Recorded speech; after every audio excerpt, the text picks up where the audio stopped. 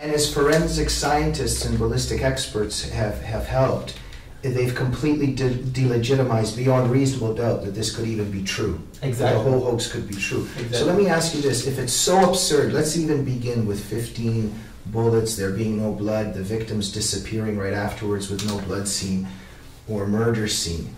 Let me ask this: You would think that in a fair society, and we are told, for instance, that the Muslim world stands for peace and, and that it, there's an objectivity and you know uh, that they also want uh, to reach their hand out in accommodation.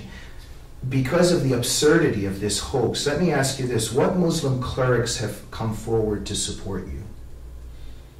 Mm, Muslim clerics to come and support me? yes. I mean you would think that the religious leaders of a community that care about peace justice and truth that out of a thousand there may be one. I mean, we have leftist rabbis, right wing rabbis, right? we have rabbis supporting. I want to know who in the Muslim world, for instance, has come out in support and said this is not a tactic we need to be using. Well, I think never. We've never had. I mean, I had Muslim supporters, but personal Muslim support. I don't, you know, I, I don't uh, characterize people because they're Muslims or Jews. Because our worst opponents in this case were some no, extreme leftist Jews. No, I understand, but, I, but this involves Palestinians. Yeah. so my, my, my question is, you have Jews on the side of Palestinians. You have, you know, Jewish rabbis on the side of Muslims and Palestinians. What I'm saying is, even tell me this: How about Palestinians themselves that said this is a hoax and came to? You know what? If they were really caring for the Palestinians, they would care for what I'm telling you here. Because who are the worst victims? If you look at the bottom line, who, who were and who are the worst victims of this picture? The Arabs. Because if you take a look at the war and the Intifada, maybe 1,000 Israeli died, 5,000 Arab died. So I think the worst victims are, are there. But they are more willing to kill Jews than to leave.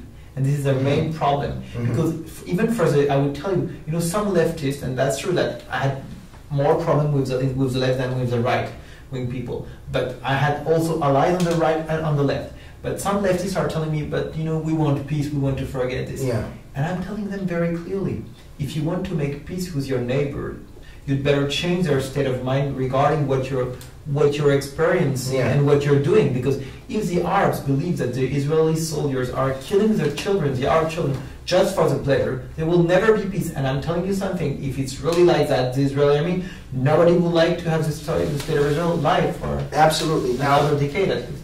Well, exactly. I, but I want to pursue this just a little bit more. You have won court cases because of forensic evidence. So any fair-minded person that sees the evidence, you even won in court. You've been completely vindicated. It, has there been an op-ed in a, in a Palestinian or Arab newspaper in support of you. Never. But in the, just wait, in the entire Arab world, there hasn't been one op-ed in uh, support. Of you. Or do you count the French France as a part of the Arab world?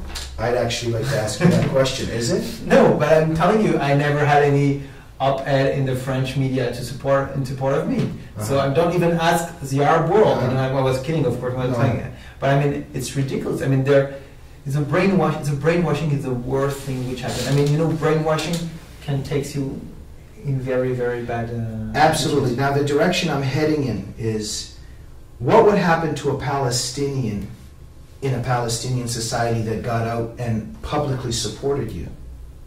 Dead.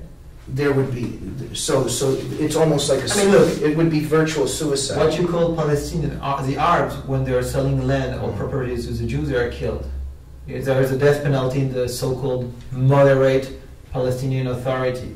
Mm-hmm. So what do you think? When someone will come and reveal the truth about their life for so many years, you think that they will let, leave him alone? No, of course.